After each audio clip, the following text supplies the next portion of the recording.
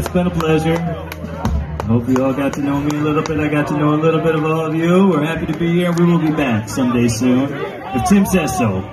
Thank you.